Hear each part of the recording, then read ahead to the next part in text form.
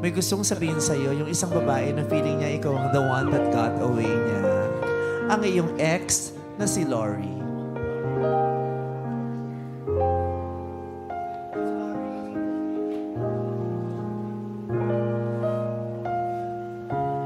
Um, finally, I'm saying this. I am so proud of the person that you've become. Maraming salamat kasi naging part ka ng buhay ko at nag-iwan ng napakagandang lesson. Sana this time, mas ready ka na. Ngayon na mas ready ka na, ipinapanalangin ko na sana matagpuan mo na yung taong magmamahal sa'yo, ipaglalaban ka hanggang sa huli. Thank you. Layton, anong sagot mo?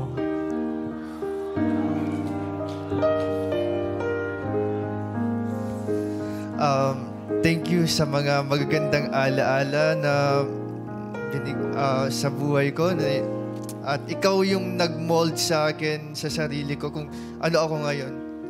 Thank you so much. Ingat ka.